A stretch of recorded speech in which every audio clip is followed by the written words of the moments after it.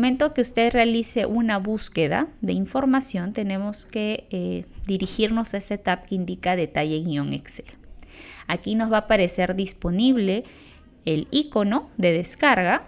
Le vamos a dar un clic el cual va a descargar un archivo exportable a su computadora con todos los campos que actualmente nos brinda la aduana, en este caso las aduanas en Perú.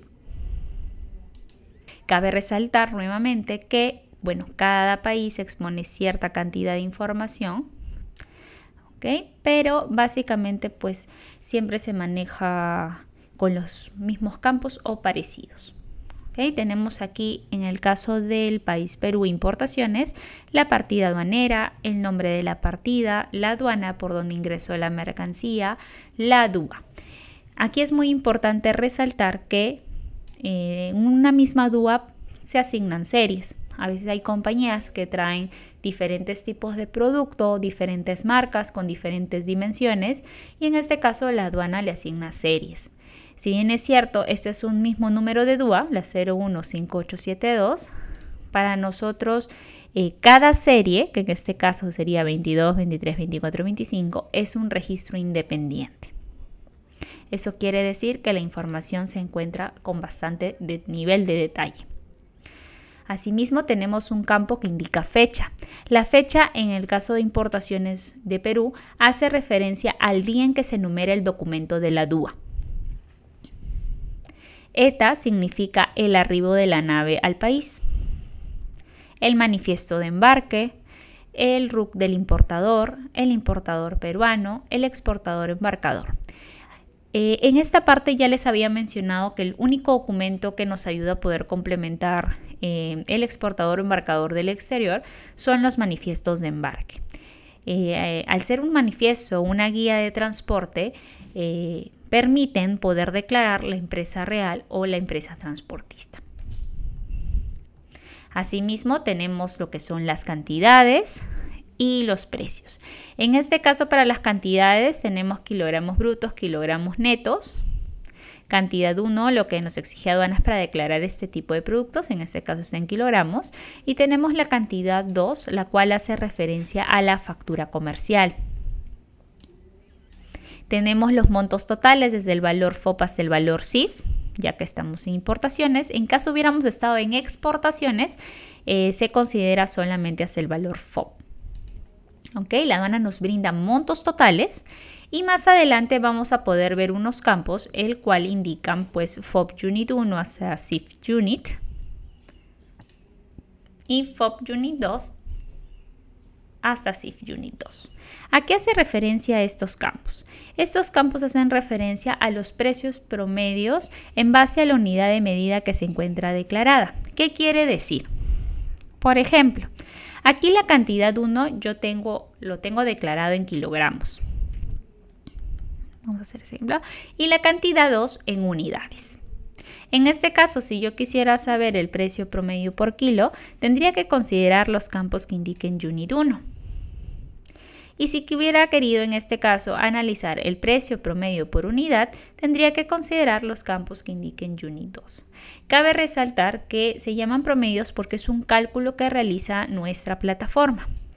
Ya que la aduana nos brinda montos totales y cantidades totales, nuestro sistema hace el cálculo basado o en este caso dividiendo el monto total en dólares entre la cantidad declarada.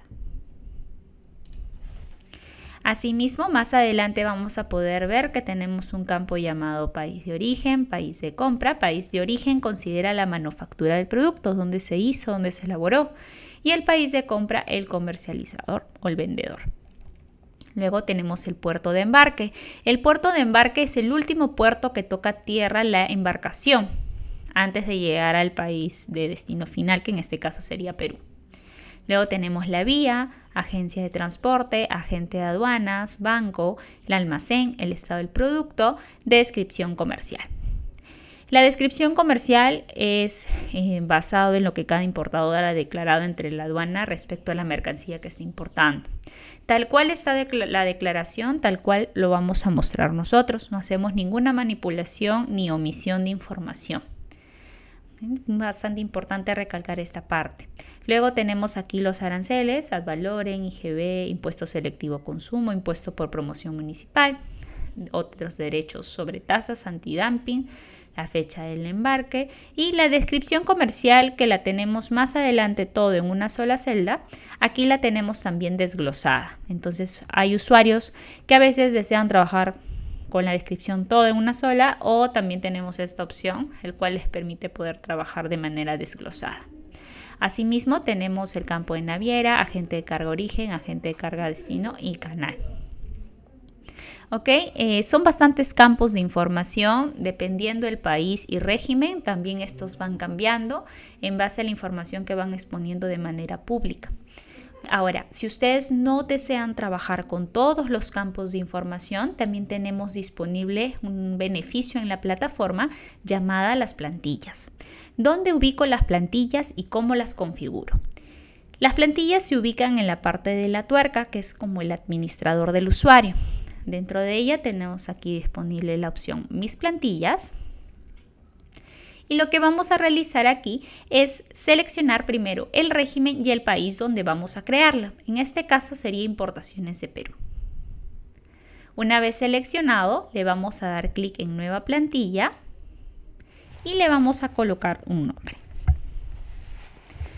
Una vez realizado este procedimiento, aquí nos va a aparecer todos los campos que en este caso importaciones de Perú nos brinda y vamos a ir seleccionando solamente los campos que deseamos trabajar. Una vez seleccionados, en la parte de abajo vamos a encontrar una opción que indica grabar y de esa manera ya hemos creado la plantilla. En caso usted desee descargar siempre la misma, la, misma plantilla, también tenemos una opción en la cual la pueden marcar por defecto para que directo ya les aparezca la plantilla.